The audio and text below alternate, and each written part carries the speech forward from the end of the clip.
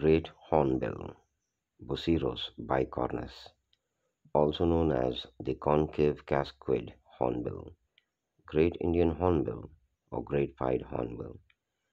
Hornbills is one of the larger member of hornbill family. It occurs in the Indian subcontinent and Southeast Asia. It is predominantly frugivorous, but also preys on small mammals, reptiles, and birds.